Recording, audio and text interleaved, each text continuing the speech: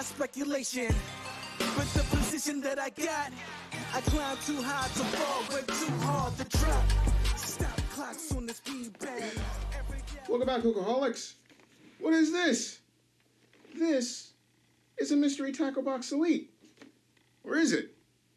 I mean, they started out, when I first started MTB, uh, their Elite boxes were that gray. And then they thought, okay, well, we'll change things up and we'll go with, with green. Why is this one in red? I'll tell you why. This isn't your typical mail order MTB. This is the in-store MTB, Mystery Tackle Box Elite. This one happens to be their box number 84. Um, I saw this in my trip to Dick's. I was picking up some things, like I said. Uh, I would take uh, in account your comments, and I would choose a few lures from those comments from my January MTB um, unboxing, and then I'd go to Dick's or wherever I could could find and try to locate similar baits to what you guys consider your January go-to cold water bass baits or fishing baits in general. So while I was there, I saw these. They have them in three styles. They have them in the Pro box, they have them in the standard uh, MTB box, and now they have them in these Elite boxes. So it's another mm, somewhat gimmicky thing, but uh, they have different box numbers. This one happens to be the style number 84. I had done uh, a saltwater kit box. They have the Googan Squad's Mondo box. That's more specific because you're only going to get Googan Squad baits in it. I'm hoping this is not like that. I'm hoping this is not all Catchco baits. But seeing as I've never done this before with this brand or with these specific um, in-store boxes, who knows? But I figured I'd grab one. Uh, I think they're forty-four dollars, forty-five dollars. So it's comparable to my monthly MTB. Obviously, if you get these on the twelve-month program, which I don't, but I should, uh, it reduces the overall cost dramatically because you're paying in advance for the full year.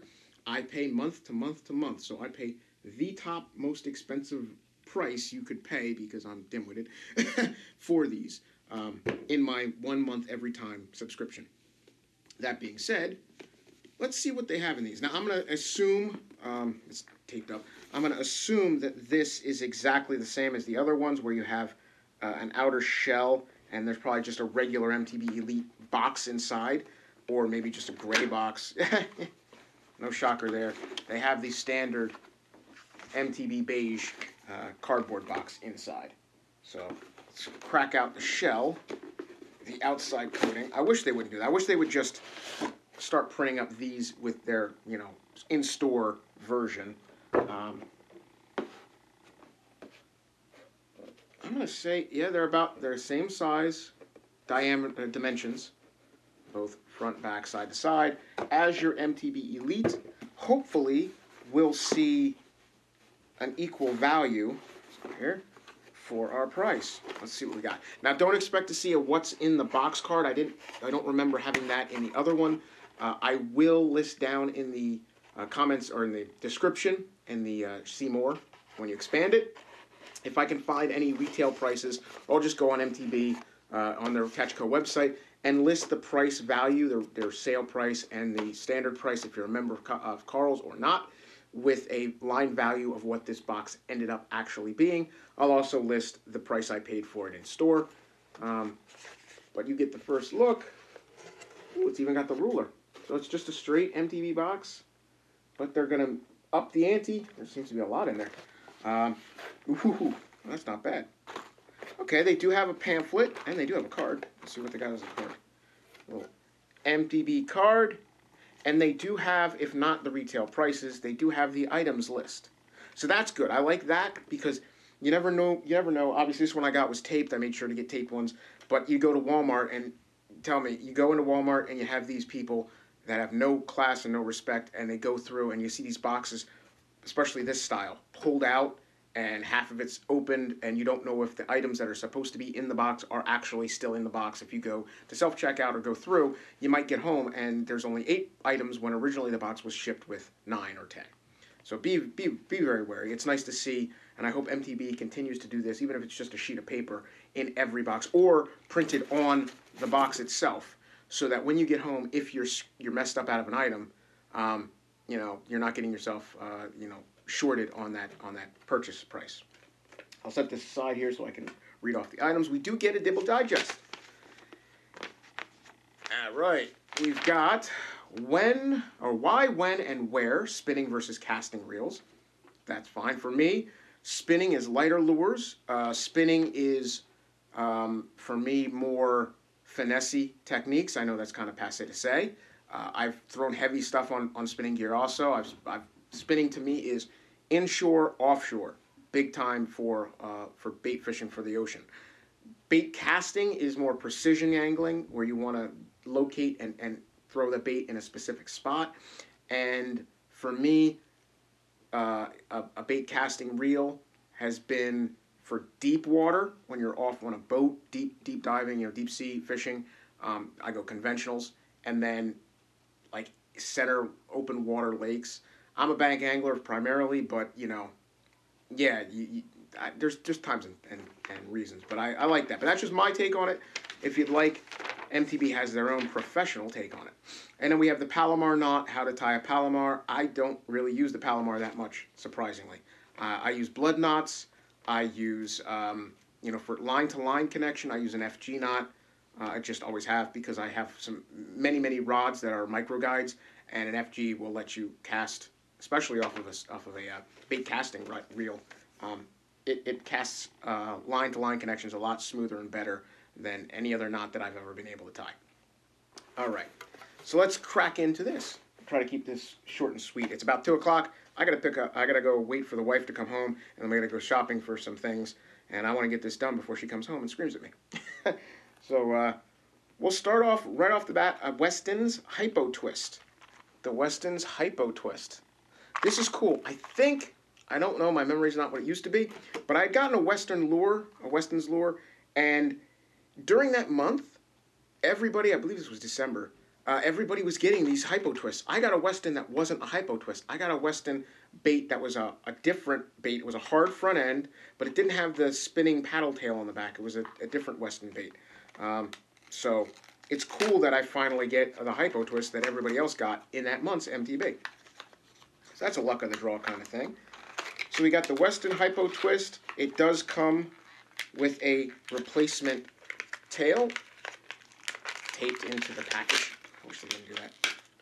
So you get yourself your replacement tail. It's already got the screw in there, so that's cool. And we got a nice bluegill pattern again. Uh, a little, little bit of the soft plastic from making the dorsal fin uh, kind of stuck to the body. So it's hard plastic in the front with that boot tail like your Tecker Sprinkler Frog, Teckel Sprinkler Frog, uh, rear end, paddle. Uh, again, top water, small profile, still catches big fish. There's more of that soft plastic from them molding those uh, fins on. But uh, good sharp sticky hooks. Weston's, Weston's one brand that I know they use very quality hooks. Um, you're paying for it, so you're gonna expect you know a little bit more out of the Weston brand. So I look forward to seeing that. I'll measure it up and see what the price is of this size and style and throw that in the description below. All right, so we got the Weston Hypo Twist. Happy to see that. Again, uh, 17 grams floating. Um, not a bad bait. It doesn't have a rattle, I don't believe. Since I didn't have one of these before. Let's see. Nope, no rattle. So that's cool. All right. And of course, with all Westons, you get yourself the Weston's brand sticker. So that's pretty cool. Look forward to throwing that come spring and summer for my top water bites. We'll see how that works out. Next, another name brand, Strike Pro. Uh, the Breakster. I got this in the last uh, box I did. Strike Pro. Breakster. Slightly different color. This one is in 90 AYU. Oh, somebody's texting me. Um, we've got the 9 16ths weight. Oh, excuse me. 3 and 9 16ths length and 5 16 ounce.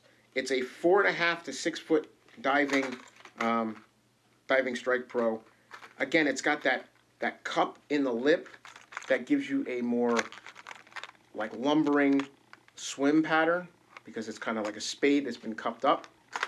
This one's in a nice little gold silver color. I like that. I do like that. This is anytime come cold water, I go for the copper tones, the gold tones, the silver tones, muted uh, muted grays and whites.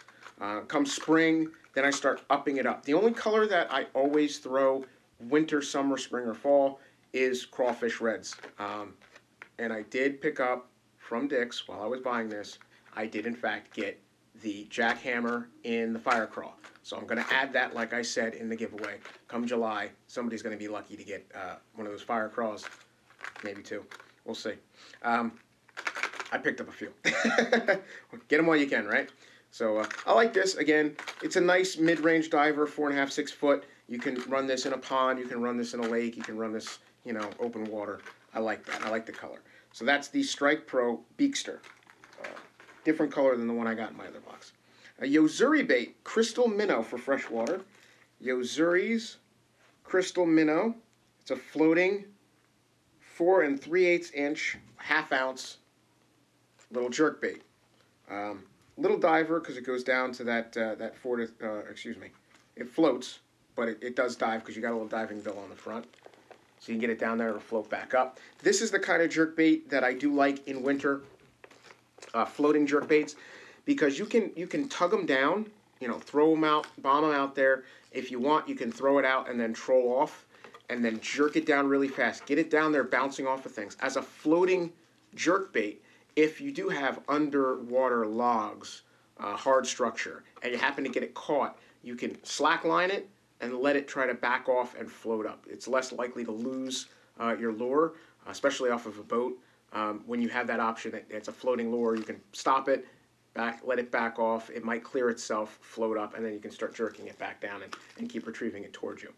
Um, got a nice, a nice chartreuse yellow side. Got a little orange on the on the gill plate.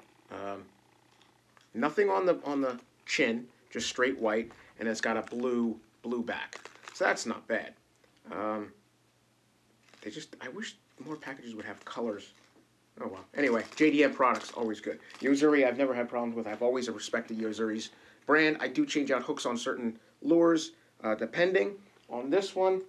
What I'd probably do is take off that tail end uh, hook, enlarge the front hook. So I'm not going to lose the floating because I'm going to lose the weight of that tail hook and I'm going to add that weight to a slightly larger, wider open gap on the front hook and just swim it as a single treble rather than the, the twin trebles. That's just what I would do personally.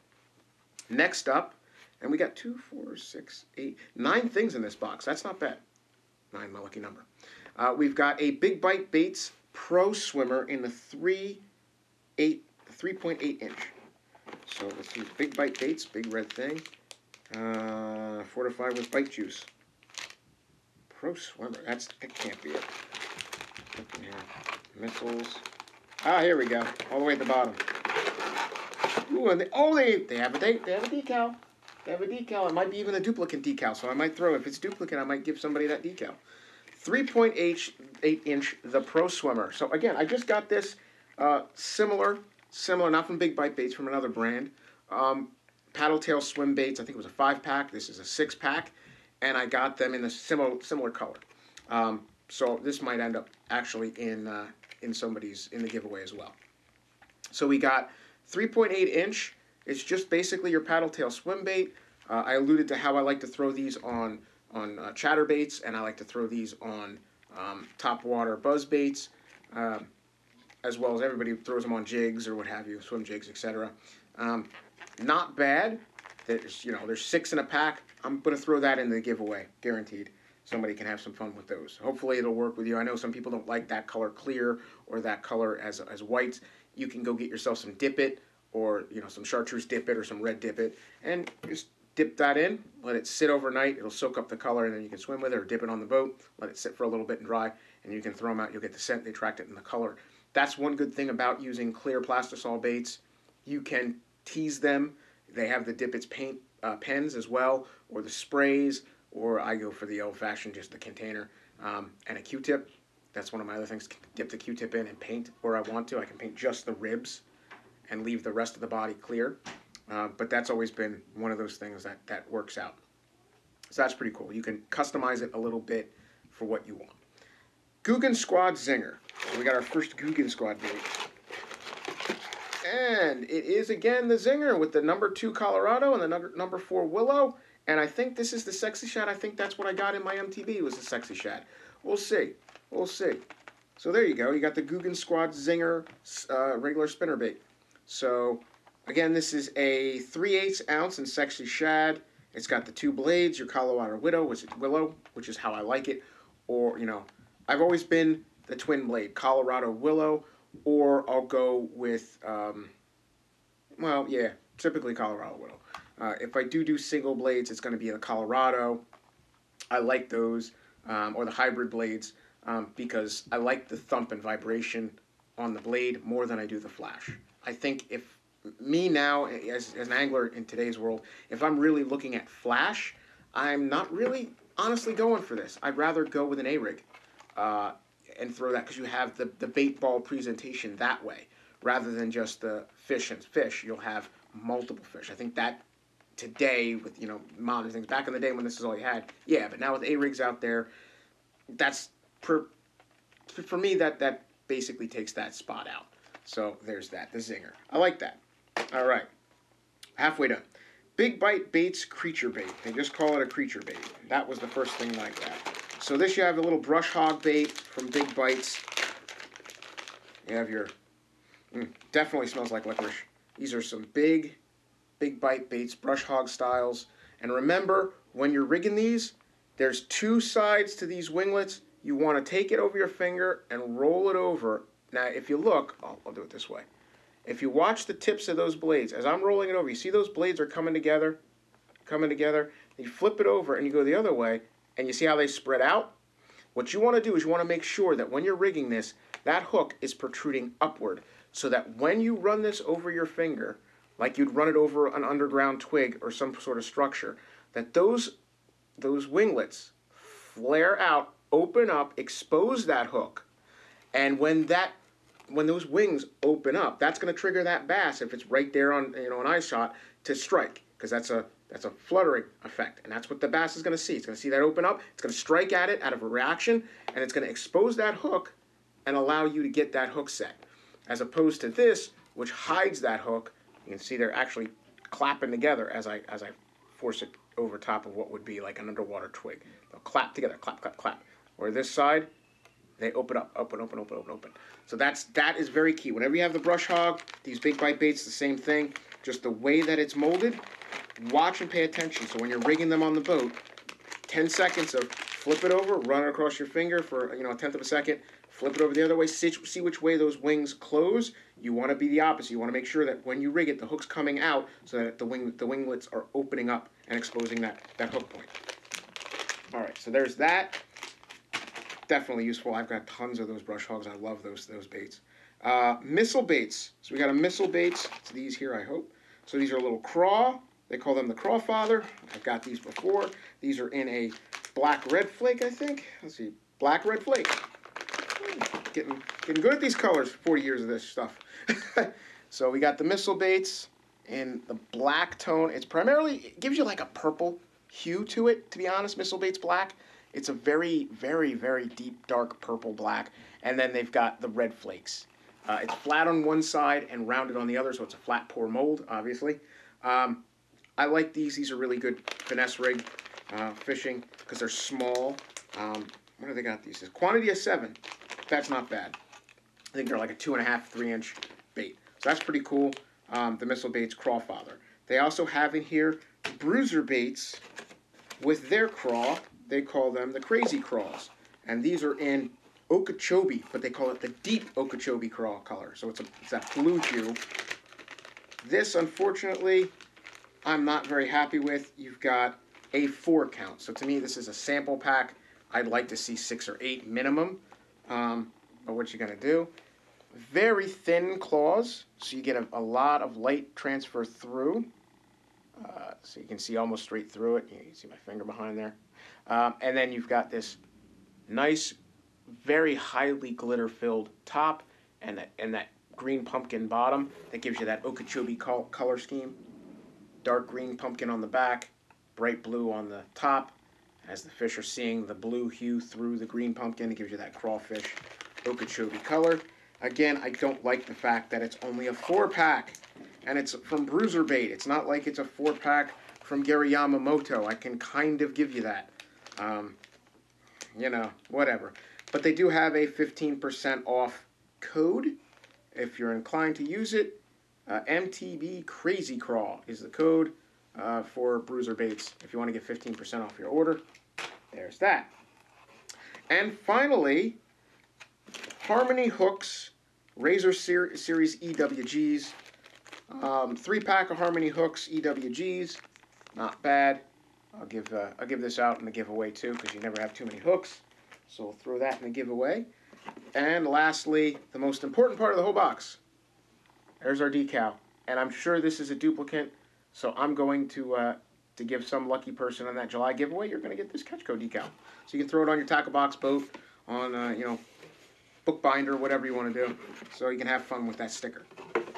That's it for this box. So, like I said, I will leave in the bottom the, uh, the purchase price of the in-store Elite. They say there's 9 to 11 baits. So I definitely got the short end of this stick. They say it's around a $60 value.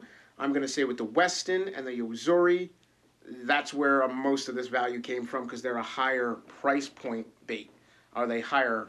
Are they worth it? Eh, that's neither here nor there, but that's where I can definitely tell you the value went to. I'd rather have gotten some more mid-range baits and gotten 11 items rather than the 9 items. But, and I hate hooks being counted as an item. It's like when you get a tool set and you have 13 Allen keys and they count each one of those Allen keys as an individual item. It's not a 100 piece toolkit. It's like an 80 piece toolkit with you know, 20 Allen keys. so, whatever. Um, but that being said, not bad.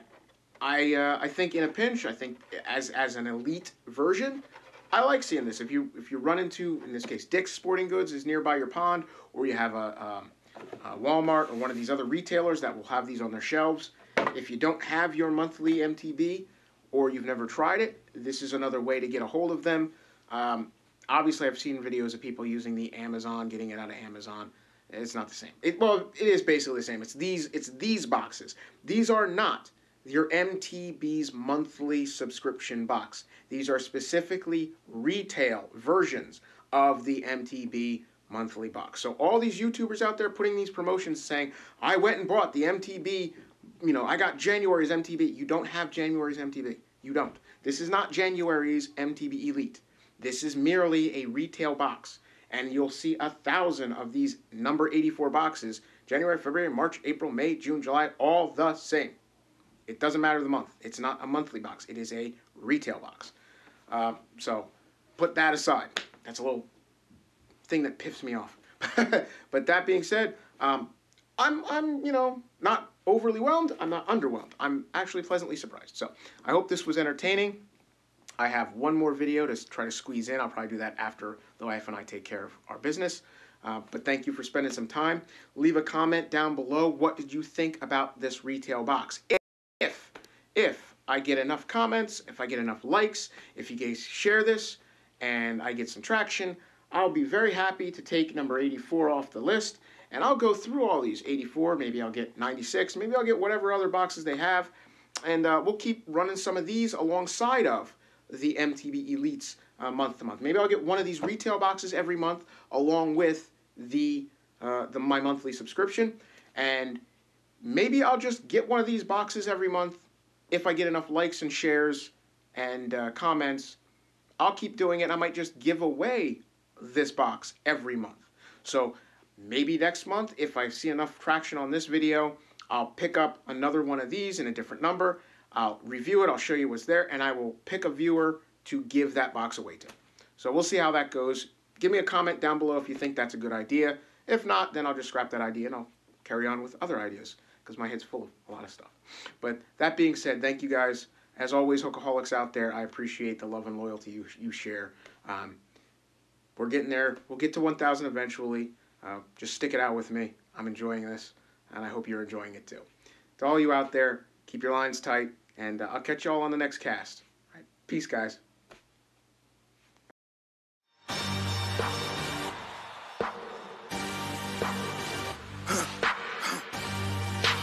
For the victory lap, though. Whoa, whoa. They ain't never seen